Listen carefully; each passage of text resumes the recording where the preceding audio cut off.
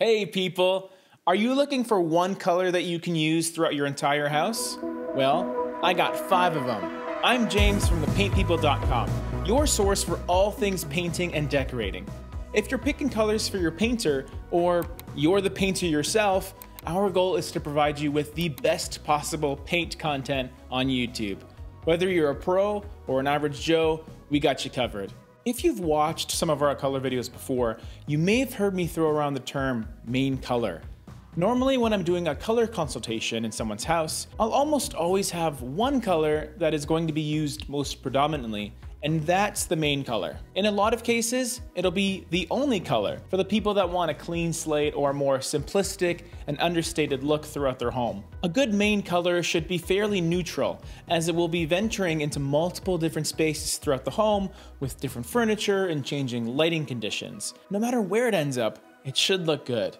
I've gathered five colors that I feel are good candidates if you just want to pick a single color for all the walls in your home. Now just a quick disclaimer before we begin. When you're selecting your main color, I always recommend picking it in your largest, most open area in the home. The reason being, it'll have the most wall surface area to consider, and it's most likely going to have the most adjoining visible rooms to consider as well. It essentially has the most reach within your home. Let's get to the colors. Starting with the lightest one of the bunch, Oxford White.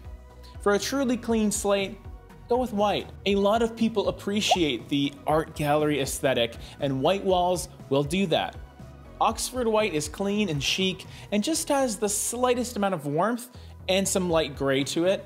It's enough to make your walls feel like they've been painted rather than just primed. Just be aware that with white walls, the upkeep of keeping those walls clean might be a bit more demanding than an off-white or a light gray, for example. Assuming you want something a bit more substantial than white, take a look at classic gray one of my consistent go-to main color choices. Classic Gray is great at tying in taupe and gray color schemes. It's quite light, but not too light where it'll blend into your white trim and woodwork, and its touch of brown allows it to complement all kinds of floors. This would be one of the first colors I would look at, but if you find it's just a bit too brown, the next option I would give you is Silver Satin.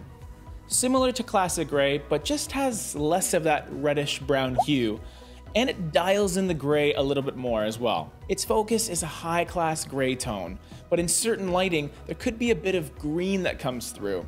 It's not enough to put anyone off though, because I've used it many, many times over the years, and it seems to fit a more modern decor perfectly. Now, if you sort of like classic gray and silver satin, but find them a bit too light, then I would recommend you take a look at Balboa Mist.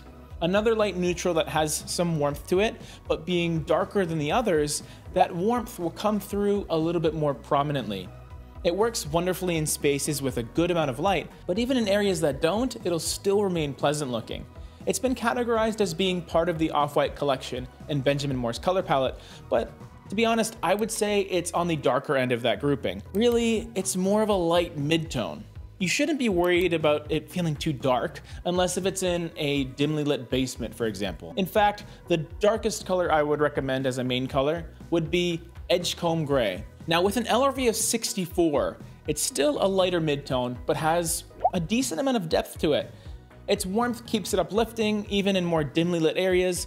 In fact, you may have noticed that all of these colors lean more towards the warmer side of the neutral scale, and that's because they just seem to do a better job at harmonizing more spaces. You could absolutely pick a cooler main color, but it'll have a specific look to it, and it may stand out a bit more in a lot of cases. Here's some more detail on Edgecomb Gray. We showcased it recently on our video series all about paint color called Color Code. I'll also put a playlist of that same series right over there. If you got something out of this video, show us with a smash of the like button. That's what the kids say these days, right? That's it for this one. See you on the next one.